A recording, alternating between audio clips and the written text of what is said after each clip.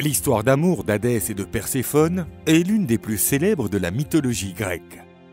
Vous avez certainement entendu l'histoire selon laquelle le dieu l'aurait enlevé, ce qui a donné naissance aux saisons.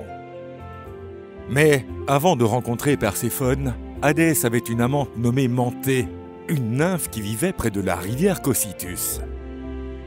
Cependant, lorsqu'Hadès est tombé follement amoureux de Perséphone, Manté a été mise de côté. Certains disent que lorsque Perséphone est remontée à la surface pour passer le printemps et l'été avec sa mère, la nymphe Manté n'a pas voulu laisser seul le maître des enfers. Mais lorsque Perséphone revenait, Hadès se précipitait dans ses bras, laissant la nymphe verdâtre à l'abandon. Manté se vantait ensuite d'être la plus belle entité des enfers, car même Hadès ne pouvait résister à ses charmes. Ces affirmations rendirent Perséphone furieuse.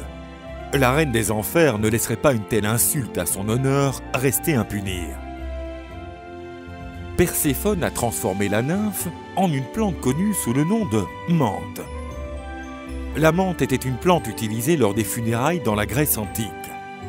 L'une des raisons était que son arôme masquait l'odeur du défunt.